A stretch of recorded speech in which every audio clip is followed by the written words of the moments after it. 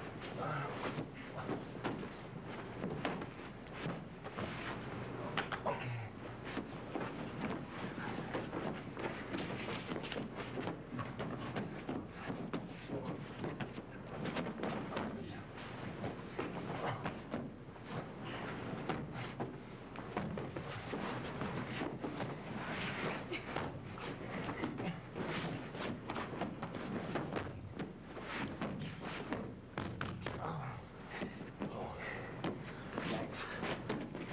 Thanks, Paulo. You're ready, man. Thanks again.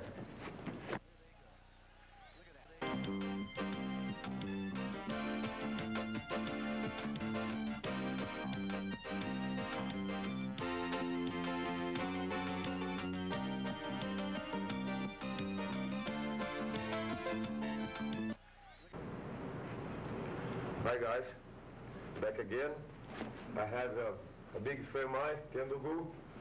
He's a gold medal in Brazil, world champion.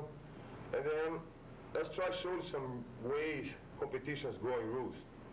Um, first, start like a judo. You grab the collars like this. And then any kind of takedown, some shoot to the legs. Push, take him down. Oh, flips like this, throws like this. Okay? Here, that's two points. Any takedown in the legs or throws complete like this, like judo throws, two points. So basically, come again here. So grab one leg and take him down here. What's gonna happen? You're gonna cross the legs, please. Then move to the legs. And then come to guard position. When I'm trying to pass this guard. And then come basically, that's the move I'm gonna do. I pass the guard, sneak my shoulder, get the collar, I pass the guard. And the time I'm do this, chest to chest, that's two points. Two, two, two points. Three points, I'm sorry. So I got a hand in the collar, knee in the belly, that's two points. So I slip my knee, he mounting, that's a four points. So turning his back, and then I put my hooks in shoulder here, like this. And then I keep my hooks, that's, and I put my both hooks like this, that's a four points. Okay, any submission, the fight finish right there. This, this. Any kind of advantage as count. When people take advantage like, uh, one second, lay down here, can again, please? Yes. Can you move, please? Yeah, somebody like this, for some reason hold my collar, turn the fight, come like this. Yeah, you turn the fight like this, this is called advantage. And then any turn fights like this, that's two advantage. Okay? You cannot hold inside the gears. And it holds inside the gears, inside the pants. You cannot hold inside. You can go outside. You can grab like this. Whenever inside the gears. Foot locks permit, lay down second. Foot locks. Basically, you can do it like this. Okay? It's permit. Whenever, on the side, you never do ankle locks. That's not permit. Okay? Because it can hurt the knee. The foot locks are there. I only can turn outside. So I'm turning inside, can get injured his knee. This can be disqualified for that. That's what you can see. The rules, so I push the, push the point. If the point is be count for positions very dangerous. Uh, as I think it's very dangerous positions, knees in the bellies, mounting positions, holding from behind. That's the idea. Uh, count the points vantage, the points, because you got a better position. That's positions it can be very dangerous. in the mats like this or in street fights work the same way. One more time, thanks Kendall. Congratulations for Brazil. You got it. Thanks my friends. Thanks.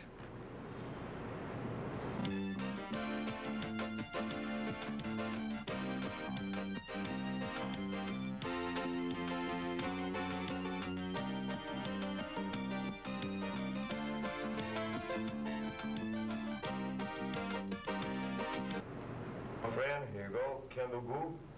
That's the man that have the gold medal from Brazil and from Hawaii stays very good. That's qualified Brazil. First place in the world is Hawaii, the second place in the world, the more powerful jiu-jitsu in the world.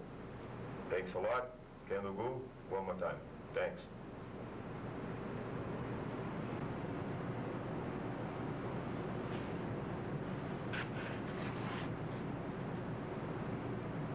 Hi, I'm I'm here for Gracie Jiu Jitsu today, and I'm talking to one of Relson Gracie's top heavyweight competing students, Kendall Goo. Kendall, how are you? It's nice to see you. Thank you. Well, we're going to talk about this. I want I want you all to see this. Check this check this medal out. This thing weighs a ton. I want we're going to talk about uh, your competition in Brazil. So let, let's talk about first leaving Hawaii and going to Brazil. What was the flight like? Uh, flight in itself was quite an adventure. I think if you add up the amount of days I traveled, it was pretty close to the amount of days I was actually in Brazil. Wow. Okay, so when you finally got there, did you experience jet lag? Were you tired? Um, I think it probably didn't hit me till about two days later, and thankfully that was after everything That was after finished. the tournament. So when you got to the tournament, okay, so you got to the tournament. How'd you feel at that time? Well, I traveled from Honolulu uh, about two days, two and a half days before I went to San Francisco, San Francisco to New Jersey. Had a 15-hour layover in New Jersey, and then I flew down from Jersey to Sao Paulo, and then to Rio, and Wow. then got in Thursday, and I found out from Relson that I had to fight on Friday. So What a journey. Wow. Okay, so tell us about your competitions. How many fights did you have? I had, I think it was a total of four, four or five matches. Okay. Um, they're all tough competitors. I was in the open weight, which the weight classes are a little different in Brazil. Okay, so you're like a super heavyweight, right? Super, super. So how does that compare to open weight? Does it mean you Um, fight all different weights? Or? I think for me it was probably harder being in the super, super weight because you're facing people that are all big. When you're in the open weight, or they call it an open weight division, um, you face little people, medium-sized people, large people, so you can kind of, you know, take it easy at times. Okay, so let's let's go through it match by match. Tell me about your first match and, and what were your winning techniques? Um, basically, mentality in tournament jiu-jitsu, well, I find is it's a lot different from just free training or anything else. I mean, you've got to go into a menta- mentality of trying to score, not trying to get taken down. You're trying to stay up and fight the match and try to get quick points. I think the Brazilians have really refined it, you know, sport-wise, where it's a matter of it's not a matter of submissions or win, wins by large points. It's a matter of advantages or one or two points, which determines I winners. see. So did you win by great margins or were they very close matches? They're pr- pretty close. I've won um, by as few as one point to maybe at most four or six points. Did you have any submissions within these four matches?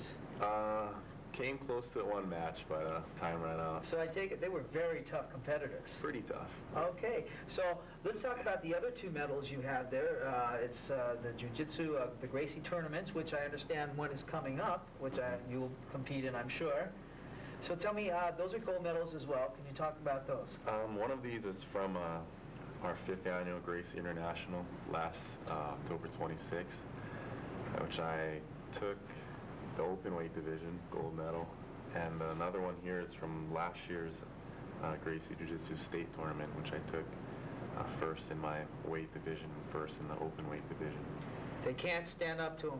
Here in Hawaii, this man is number one. And there's another reason for it. You also played college ball for UH. Is this correct? Yeah, I played uh, five years of college football. Five UH. years? Okay, so wha- uh, did you have any dreams about going to the pros at all? Oh yeah, actually I I signed a free agent contract with the New Orleans Saints, but I after a little while there, I just decided, no. It was Mike Ditka, wasn't it? You didn't want to... No, I was gone before him, thankfully. I'm only kidding.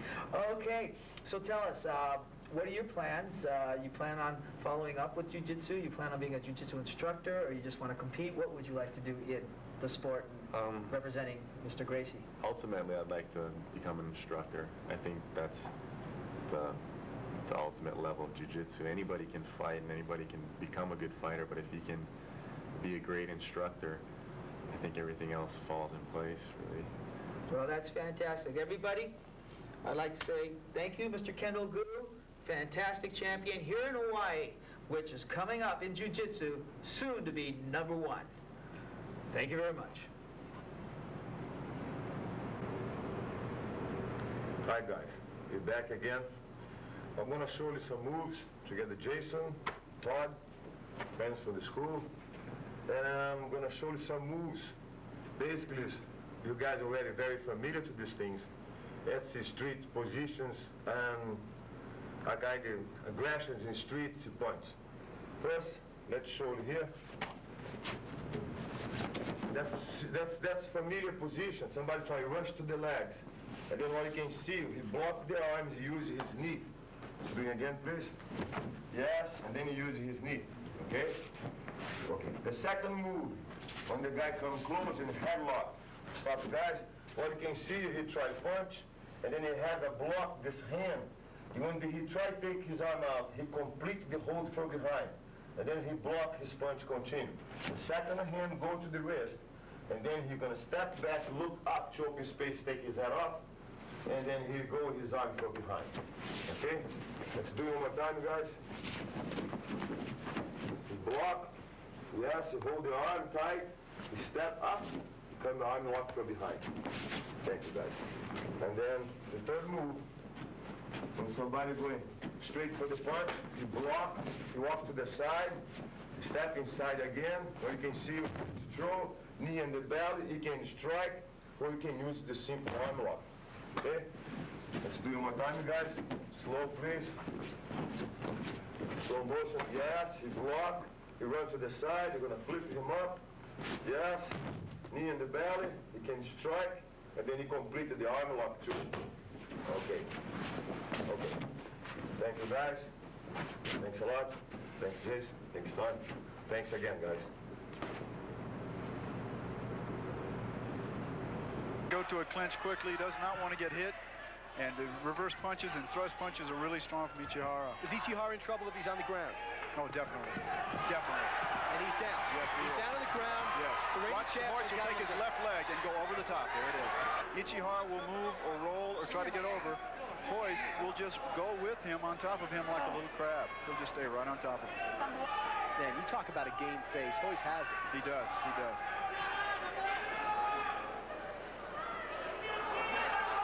Royce is probably going to want to end this up pretty quickly now. He doesn't How want could to he? sit. Well, he could do an arm lock real easily right now, but I think he's going to let him turn and go for the choke.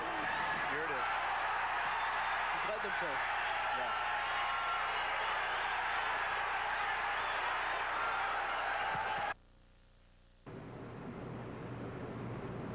Hi guys, here again one more time. So you got Kelli Rodrigues. She's gonna help us in some moves, self-defense. What you guys can see, how much easy jiu-jitsu work for women. First thing, is come, hold the neck like this, press the neck. She's gonna hold my elbow, she's gonna step behind. She's gonna hit his base, bend her knees, she flip me over. Here, yeah, I'm locked right there. Go. One more time, after that, we're gonna do full speed.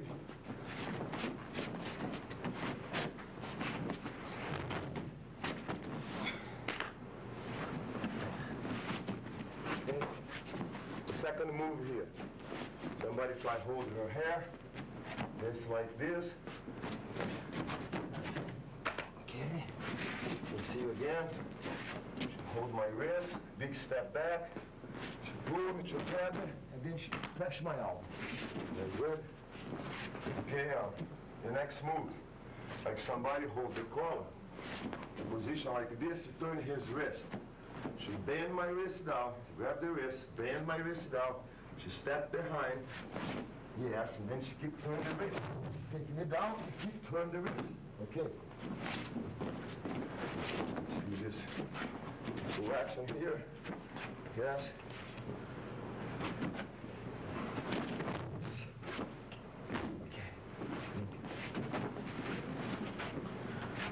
Other things happen a lot.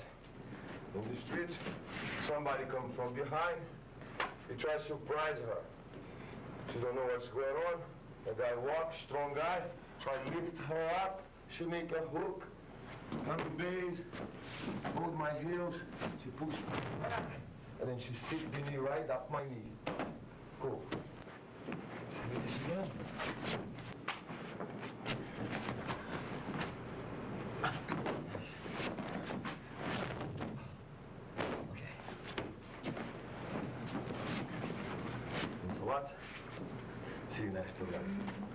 Time.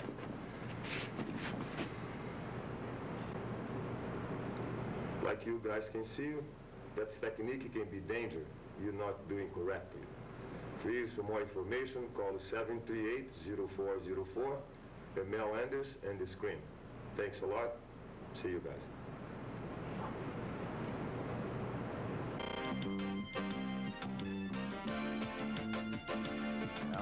Everybody enjoyed Gracie Jiu-Jitsu. I sure did. And you know, you can learn a lot by watching that show. But don't forget to watch next time because we're going to be showing clips of the competition of the Gracie Jiu-Jitsu tournament here in Hawaii. Now, don't change that channel because Dave Sampson's coming up with Sampson's Taekwondo. Today,